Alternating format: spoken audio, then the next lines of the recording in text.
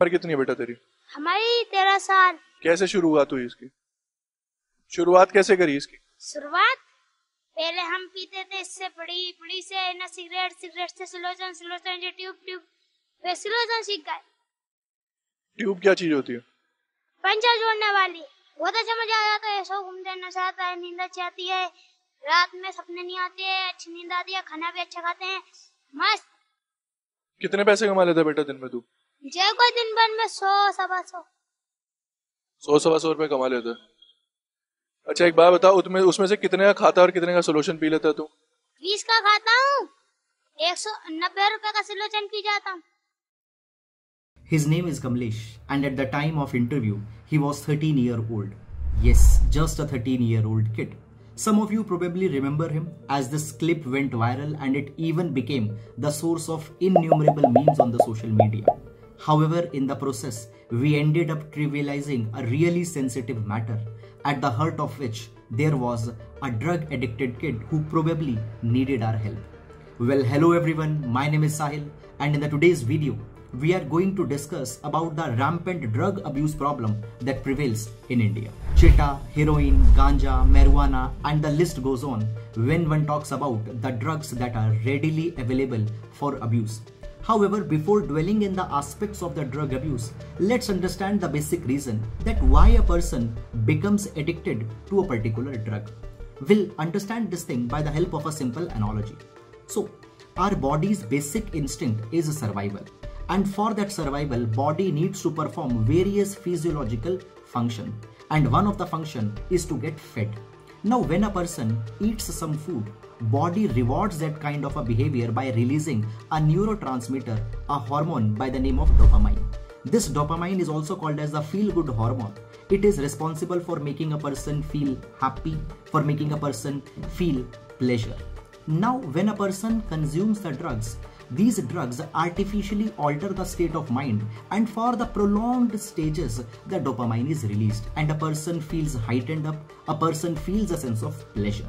And therefore to again get that pleasure a person consumes the drugs and becomes dependent on such drug abuse. Now let's understand that how widespread is the problem of drug abuse in india. So as per the latest world drug report 2022 that was released by the United Nations Office of Drugs and Crime. It is provided that India is the world's single largest market in terms of opiate users and this size is bound to grow in the coming years. As per an estimate by the NCB that is the Narcotics Control Bureau, as of May 2020, it is provided that 10 crore people are drug addicted.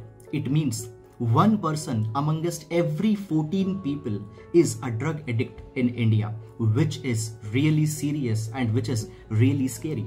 And as you can see from the chart here, the opiate usage in India is three times higher than the world average. When we talk about the opiates, opiates are the essentially pain relieving drugs which muffle the pain receptors and boost the feeling of pleasure. And because of that pleasure, people become dependent on that. As of 2018, India had 2.3 crore of opiate users and 3.1 crore of cannabis users. Nationally, the most common opiate used is heroin, followed by pharmaceutical opioid and opium. In fact, Himachal Pradesh is currently facing the worst drug crisis that has ever struck in India. पाँच साल पहले हिमाचल प्रदेश में opioid crisis नहीं था और opioids Himachal Pradesh की बड़ी problem नहीं थी when we talk about drug scenario actually लेकिन अगर हम 2014-15 के बाद की बात करें, उसके बाद अचानक हिमाचल प्रदेश में ओपियोइड्स ज़्यादा देखने को मिला। 2013 में हमने ऑब्ज़र्व किया कि पंजाब गवर्नमेंट ने सर्विलेंस बहुत टाइट कर दी और ड्रग पैडलिंग को रोकने के लिए काफ़ी सारे एफर्ट्स किए। जब सिंथेटिक ड्रग्स बंद हो गई पूरे पंजाब में तो ऐसा तो था नहीं कि जो नशा करने वाले लोग थे वो खत्म हो गए वो तो थे यानी सप्लाई चेन ब्रेक हो गई लेकिन डिमांड वाज देयर इसका इम्पैक्ट हमने हिमाचल में देखा Himachal shares its borders with Punjab, a state where opioid use is five times the national average. For over a decade, Punjab has been the corridor for opioids to enter North India from neighboring Pakistan and Afghanistan. Himachal में opioids इतना बड़ा issue कैसे बना network इतना strong है कि जो substance user हैं उनको आसानी से मिल जाती है। तो जो सब्सटेंस यूज़र हैं वो पेंडिंग करना भी शुरू कर देते हैं क्योंकि अफोर्ड नहीं कर पाते एक सॉर्ट ऑफ़ पिरामिड स्कीम बन गई है। Absolutely how much do you think is the price of 1 gram of heroin 3000 5000 well it is around 10000 rupees yes 10000 rupees for just 1 gram of this substance And when people become dependent and when they fail to pay for such drugs, they are made to sell such drugs and they become the drug peddlers. For every 10 packets that they sell, they get one packet for their consumption. And this is how this pyramid scheme works. In Himachal Pradesh, uh, leave apart from police, I think the whole administration or the our cabinet, our ministers also feels like the biggest problem in Himachal Pradesh right now is drug abuse. And in that also, the major portion in the last two three years has been dominated by the consumption of heroin or chitta. कितनी बार ऐसा seizure होता है कई महीने में हमारे cases ज़्यादा भी होते हैं दस से बारह बारह केसेस भी होते हैं एक महीने में और लोकली लोकली लास्ट ईयर था डेढ़ किलो के आसपास था Now let's look at some state-wise statistics about the drug abuse in India. so as per an AIIMS report, Uttar Pradesh has the highest number of drug abusers in India, followed by Punjab, Sikkim, Chhattisgarh and Delhi. Secondly, the largest number of heroin abusers in India are in Uttar Pradesh at around 17.3%, followed by Delhi at around 16.3%, West Bengal at 15%, Manipur at 10.1% and Bihar at around 10%. Moreover, more than 60% of all the opium that is seized in India. However, in the terms of population percentage, the highest dependency is in the northeastern states. Nearly 7% of the population in Mizoram is dependent onto the opioids, followed by the Nagaland, Arunachal Pradesh, Sikkim, and all these data are provided by the AIIMS report. Now let's talk about that how our children are vulnerable and how much children are actually dependent on such drugs. So as per a survey carried by an NGO, it's found that 63.6% of drug abusers, they were introduced to the drug at the young age of 15 years. Experts say the age of initiation into drugs is getting younger. For example, six-year-old Firoz, not his real name, who has not yet lost his baby lisp. May I? तो तो चिका था और- और मैंने भाई को देखते देखते मैं ही चिक गया था अच्छा लगता था करना नहीं नहीं अच्छा लगा फिर करते क्यों थे Though we don't have exact data because the reliable reports are not there in this particular direction, but a substantially large number of children are dependent on the substances such as the whiteners, alcohol, tobacco, and all such kind of intoxicants. Particularly the children who are abandoned, orphan, or who are destitute, they are more dependent on such kind of drugs. And they use these drugs to cope up the daily physical sexual and other kind of abuses that they have to bear. Moreover sometimes in order to momentarily evade the poverty and its curses the children became dependent on such kind of drugs as per a 2018 survey on substance abuse it's provided that approximately 40 lakh children between the age of 10 to 17 are dependent on drugs such as the opioids and around 30 lakhs children are dependent on inhalers.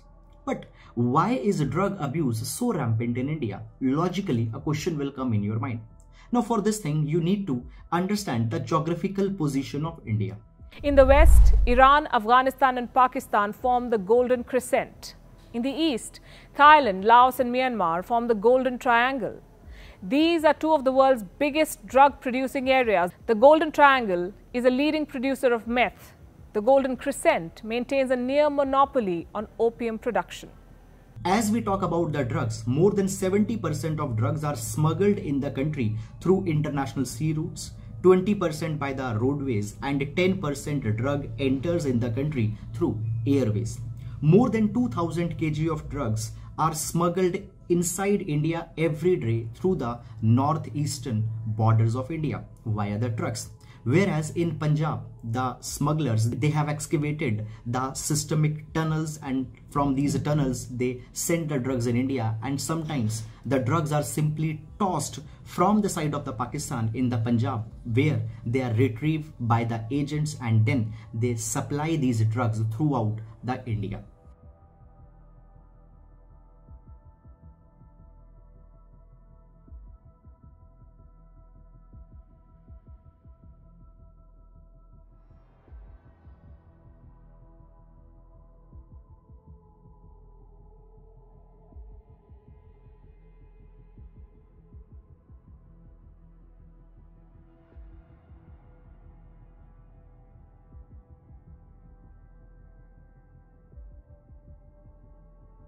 So India, especially the northern and the northeastern states, become a very active transit point of trafficking of drugs in India.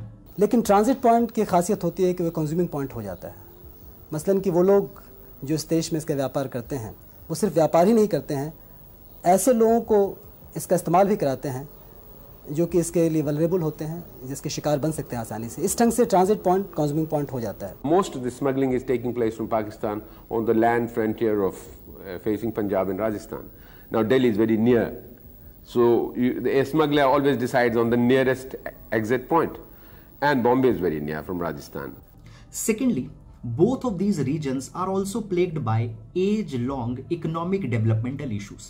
For example, as per the latest employment report published by CMIE, that is Center for Monitoring Indian Economy, it provides that in the northeastern states there is one of the highest unemployment that prevails. For example, in Tripura, the unemployment rate is 17%. To put this number in the perspective, the national unemployment rate is 6.43% and in comparison, the Tripura is having 17% unemployment and other northeastern states also are facing similar kind of economical developmental issues. And when we talk about Punjab, agriculture brought a lot of prosperity and wealth to the Punjab, but now agricultural income are dwindling. Moreover, industrialization is also stagnant. And because of this, drug trade becomes a significant aspect of the dirty economy of Punjab. Moreover, both of these regions, that is the Punjab and the Northeast, have faced a significant of insurgencies and extremism in the past.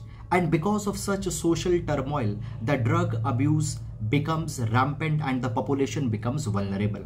And because of all these things, today we find that an entire generation might be lost because of the drug problem.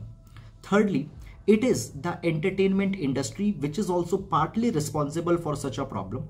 As per the report by the International Narcotics Control Board, it is provided that the celebrity drug offenders can profoundly influence the people's attitudes and the youngsters' behaviors towards the drug abuse. Many a number of times it has even been seen that particularly in the music industry, the drugs are being glorified and it particularly attracts the young people. As you can see in these charts, that over the years the number of movies that has portrayed the drugs abuse it has kept on increasing. To get a momentary high or to just fit in the peer many of the youngsters they fall prone to the drug abuse. And many a times they reach to such a stage where it becomes literally impossible to leave the drugs and the drug usage becomes more important than the other needs of the life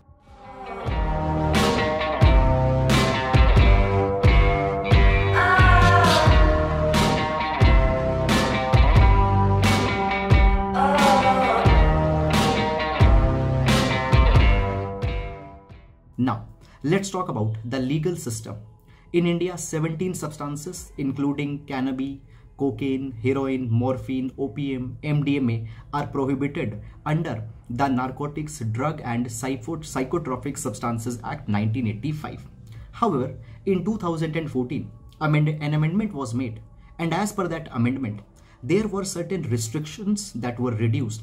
Essential narcotic drugs like morphine, fentanyl, methadone they uh, basically the restrictions were reduced and it was made easy to use these drugs as the pain relievers and in the palliative care for production manufacture possession sale trafficking or use of these drugs in small quantities the punishment is rigorous imprisonment of up to 6 months or fine of up to 10,000 rupees or both. If it is more than a small quantity but less than commercial quantity, the penalty is rigorous imprisonment of up to 10 years and fine up to 1 lakh rupees. Additionally, the Indian government is also running the campaigns such as Nasha Mukt Bharat Abhiyan has been launched where special focus is being made on 272 most vulnerable districts of India and the drug problem is being addressed there through this program. Moreover, we also have the national toll-free helpline number which you can see on the screen. Moreover, we also need to develop significant rehabilitation centers also so that they can help the people to get rid of the drug addiction. I will personally request you that please do reach out if you find anyone who is addicted to drug because somebody is looking for your help. However, the need of the hour is the active government intervention throughout this entire issue. According to recent studies, it has been found that most of the drug addicts are in the age group of 15 to 35 Many of them are unemployed and in 2021 an estimated 10,000 suicides can be linked to the abuse of drug and alcohol. So drug abuse is really a serious issue for the society and it poses a high risk and an unintentional accidents, domestic violence, incidents of medical abuse can directly be attributed to the drug abuse. These addicts, they fail to become the part of the workforce and even if they become the part, there is high absenteeism and other issues which plague such a workforce. So even if you feel that why should I care? I am not addicted to the drug. Unfortunately, drug abuse is not a personalistic problem. Rather, it is an issue which directly or indirectly affects the entire society. So a question comes that how can we help them? So the first thing we need to understand is that the drug addiction is an illness just like the cold or the fever. And as we get ourselves treated such infections, we need to seek the medical help and many number of times some other volunteers have to help them such as you and me. But due to the social stigma neither people come and they ask for the help nor we actively give a helping hand. Because of that social stigma these people are ignored and they become the marginalized section of society. One of the primary reason for this is society's perceptions of delinquents and lack of acceptance. Tag lag jata hai us bacche pe.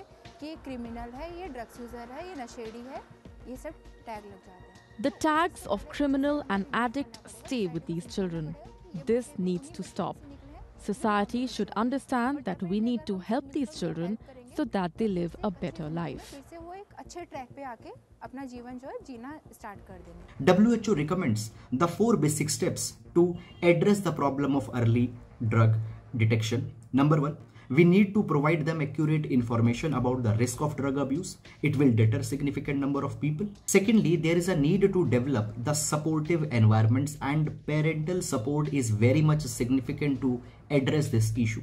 Thirdly, we need to promote the active skills where the people can get involved and healthy opportunities for healthy lifestyles are to be promoted.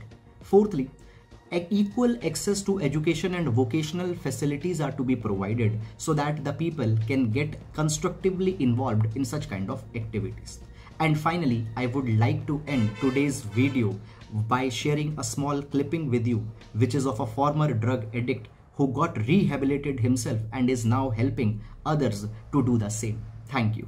बहुत अकेला है यार एक addict ना उसे और दुनिया अकेला छोड़ती है यार उसे बोलती है कि ये नशेड़ी है, इसके साथ नहीं रहना। यहाँ पर आज समाज को इस चीज़ को जानने की ज़रूरत है कि अगर आपका बेटा आज नहीं लगा है तो हो सकता है यार ये एक बीमारी है, किसी भी इंसान को किसी भी उम्र में आकर के लग सकती है।